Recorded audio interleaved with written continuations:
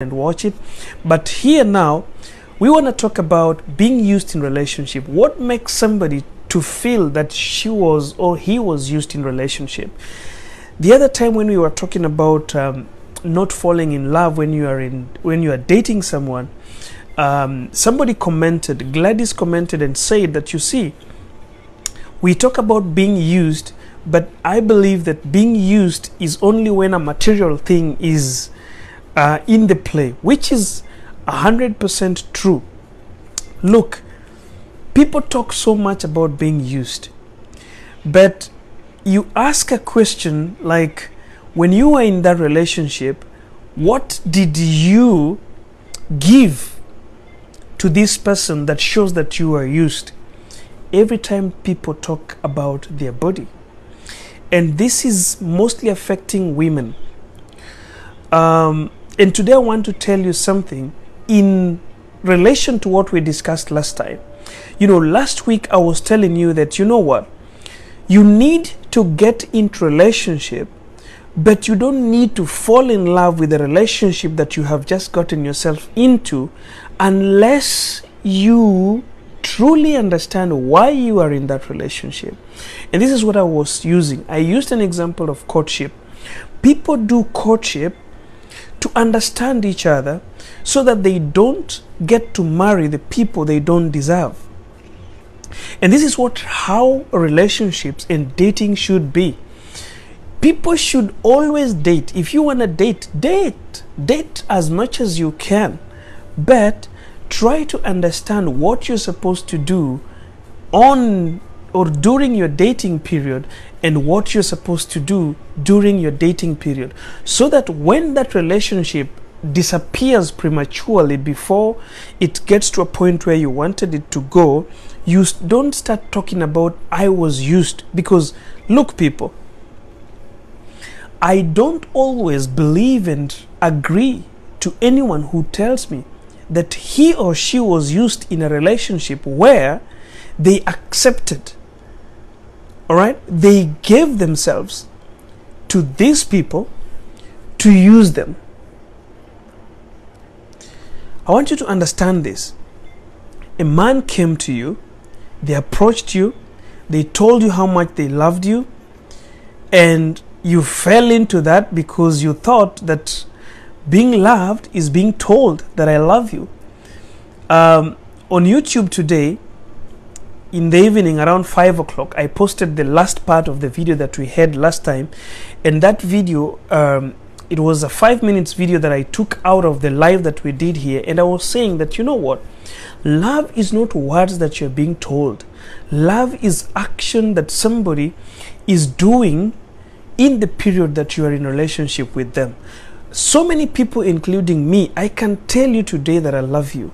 But that alone should not make you feel loved if you do not see how I act, the way I handle you, the way I'm ready to forgive you when you do some mistakes, the way I make mistakes and accept them, the way we argue and come to solve our our our, our argument or our issues, these are the things that make up love. So when people are dating, there are so many things that people get into and then they start talking about being used. So, Gladys did say last week that you do not say you have been used if there was no material that was in exchange. Like, for example, you can only talk about being used if you are giving somebody, a man or a woman, your money okay? And then after giving them money and perhaps you do not have your source of money and, and uh, at a certain point in time and they disappear because you don't have money. That is being used. All right but the moment you see where we get it wrong is the moment where people talk about being used as in somebody slept with you when you wanted at your will and I want to advise ladies here. You know, you are not being used if you willingly, willingly gave your body to a man and they slept with you and the next day they are nowhere to be found. You are never being used.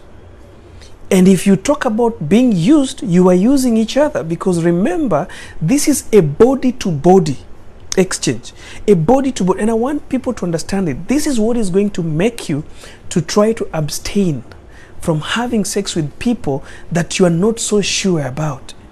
You see, when you abstain yourself from having intercourse or contact with people you don't deserve or you don't want to have that contact with, you will never talk about you yourself being used.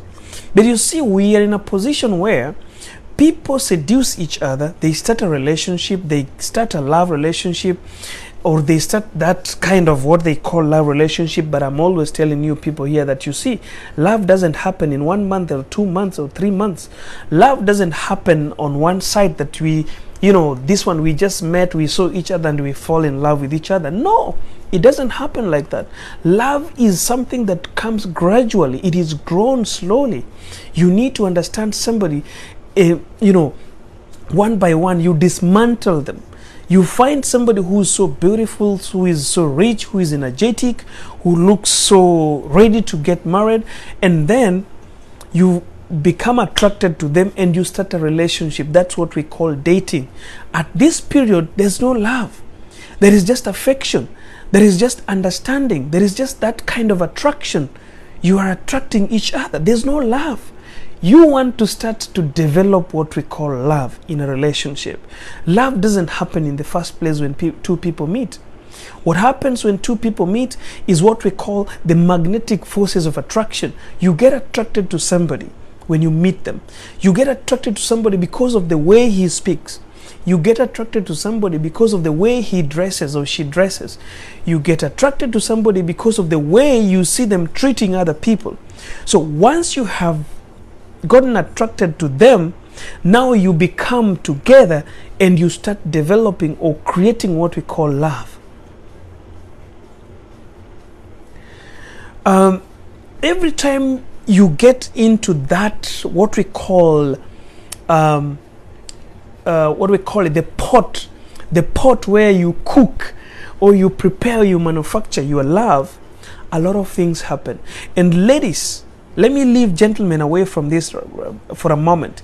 Ladies, if you want a good life in yourself, the best thing that you want to do is to remove the fact that a man that will live your life, you will be crying that he used you because he slept with you. I want to repeat this so you that you understand it. What you want to avoid as a woman is leaving a relationship and crying that he was only using me because he was sleeping with you. Maybe let me say it for the third time. You want to leave a relationship as a woman and not talk about I was being used by a man because that man was sleeping with you. You see, you want to talk about I was being used by a man because you were giving this man your money, you were hosting this man in your house, you had dedicated all your time, all your precious, you know, gifted time and mind and everything to him, but he never took his time to appreciate it. That is being used. But the moment you get to accept somebody and go to bed with someone willingly, willingly, I want to tell you guys that is not being used. Every time I coach people and I tell people that you know what, before, in fact, um, there's an email that I received, um, and uh, we've been chatting with this uh, lady who was asking me about uh, when is the right time to have sex with a man because I have got a guy who has been pressurizing me about sex. So, what is the right time? And I told her that, you know what? There is no right time to having sex than when you are married. That is the right time. We believe so. We all believe so. All the faiths believe so. Even those who don't believe in God believe that the right time to have sex with a man is the time when you are married. But now, that is the that is what is supposed to be done. That is the real time to have sex with a man if you're a woman when you're married. But now let us not hide in that kind of a rule or right or something that has to be done and hide away from the fact that people are not waiting for marriage to have sex. And teach people now what can you do if you cannot abstain if you cannot support yourself you cannot you know you have tried like you know i'm just waiting for us to get married so that i can go to bed with this guy. But then you see the pressure and everything is like no i just want to do this. I'm not going to wait. What are you going to do? This is what i always advise people. If your mind is prepared you are prepared mentally. Your body is prepared. You are prepared physically your faith is prepared, you're prepared spiritually, and your willingness is prepared, you are willing to do it. Then you can, if you cannot abstain. But in a situation where you are coming to somebody and asking somebody that, should I have, should I go for it? Because this guy is really pressurizing me. It's like I will lose him if I don't have it. This lady is pressurizing me. It's like I will lose her if I don't have it. The moment you have a question, guys, knowing what to do right is always so easy. The moment you have a question, the moment you doubt yourself, the moment you doubt an action that you want to do before you do it, you need to take a break, move one step backwards, and try to get yourself out of it because this is always the thing. The moment you doubt it, do not do it. Because if you don't do it, you will save a situation here. You can always do it later. But if you doubt and you do it and you're doing the wrong thing, you have already done it. So the moment you doubt yourself, you've got to take a break and move one step backwards and try to refix your mind to find what when is the right time the best time to have an intercourse that you will never regret to say that I was being used by a man is when you're married to that man. But if you cannot wait, if you cannot abstain, you cannot wait until he marries you, then you've got to prepare your mind, prepare your body, prepare your spirit, be ready for it, and know that you are giving it to the right man. Unfortunately, we don't do that. And we end up crying that, you know, he used me you know, she used me. Men sometimes talk about being used because they give money to women. And then after giving a lot of money, maybe paying rent for some lady somewhere, and then when you go visiting them, you find another man in the house that you're paying rent. So you start crying of being used. It might sound being used because there is a material exchange that has been uh, uh, uh, given because this man is working so hard and the money he gets he gives it to you to pay your rent maybe to buy you some other thing and then something happens um, my youtube account nisha nisha shirat is john gora I don't know whether uh, Karunga, my secretary, is here. I don't know whether she's here with us watching. Uh, maybe she can reply to you. But uh, my YouTube name is John Gora. You can always just um, uh, find it. I think uh, there is another person who can reply to you somewhere. Uh, so, always, always understand yourself before you get into relationships. Avoid the fact that you are crying, you are being used. I know these things are not easy. They are totally not easy. Relationships are not easy, but you are never being used if you allow somebody to sleep with you. Ladies, I want to ask you something.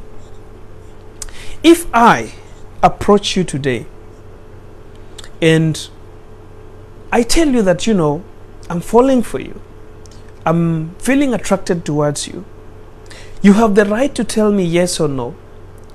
And once you have said yes, for perhaps, for example, you have said yes. When I ask you that I want to sleep with you, you have the power to understand that if this man today sleeps with me, and tomorrow he is not in my life, I will be crying he used me. This is how to solve this problem of being used, men sleeping with you and running away. When you see a man in front of you and he wants to sleep with you, he's really pushing you towards going to bed with him. You want to ask yourself, if I do it today and tomorrow he's not in my life, will I be talking about being used? If you say no, you go ahead. If you say yes, you've got to stop. You've got to say no until you get a license to put my pants down because you've got to get a license. There is a license. And you know that we uh, men, we've got to pick a license for you to strip down your pants. But you know, most of the people don't realize that. And we realize it because of the pressure.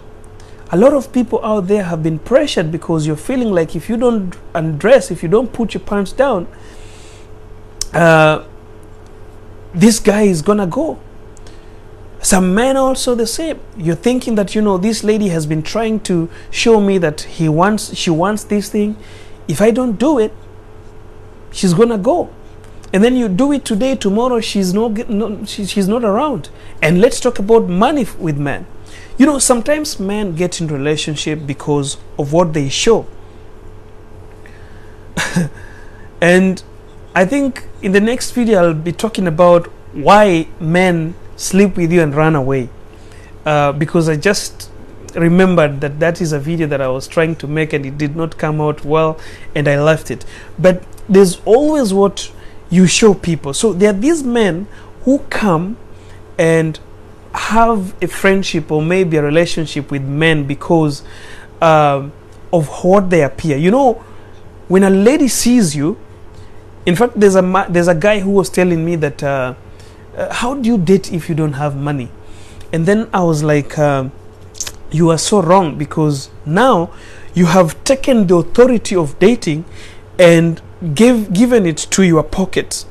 So when a lady will be approaching you, you want to go and hire a car. You rent a car so that you drive and park it in front of a lady so that a lady can say yes. You want to go to a bank and take a loan and you know have some chums of cash in your pocket so that when you meet uh, Gladys is saying that I can also sleep with a man and run away. Exactly. yeah, I've, I've, I've known that uh, there are also ladies nowadays that are just, you know, they want, they just want, uh, how do we call it? Hit and run yeah. They just approach a man they come so close with the man and the man also tries to reach them and they accept and then they get them to bed. You hit her and she's gone. So it's a two-way traffic. And the money the same. So the thing ati una, una unagonga na unakimbia yeah. So what happens is you have shown a woman that you have a lot of money. So the woman finds space in your life because of your money. And the moment you give the woman the money, she disappears. And now you start talking about I'm being used. A man, you want to ask yourself a question. Before you dip your hands in the pocket and get money and you give to that woman, you want to ask yourself, if I give her this money today and tomorrow she will not be there, am I going to regret giving her this money or it will just be okay? You see, I don't tell people don't have sex with a man if you love them. I don't tell people don't give a woman money if you love her. The question is, after having sex with this man and tomorrow he's not there, are you going to regret having doing it? If you're giving a woman money today and tomorrow he's not there, are you going to regret it? This is where we are talking about people being used. You know, sometimes these people are not using you. You are allowing people to use you unless you have been raped, unless you're dating a woman and then a woman calls a gang on you and they rob you your money. But the moment you did, sorry guys, I just I lost my internet, but I think we are we are, we are back. So the moment you get yourself to, you know, take your wallet, take some cash, and give to your woman. If that woman runs away, She did not use you. I always tell people this